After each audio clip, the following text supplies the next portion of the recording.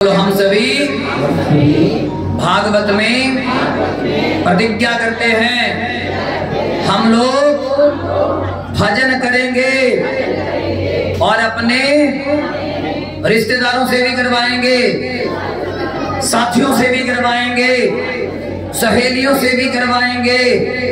हम कभी नशा नहीं करेंगे। हे प्रभु हमें भजन करने की शक्ति दे दो। बोलो किशन कन्हैया लाल की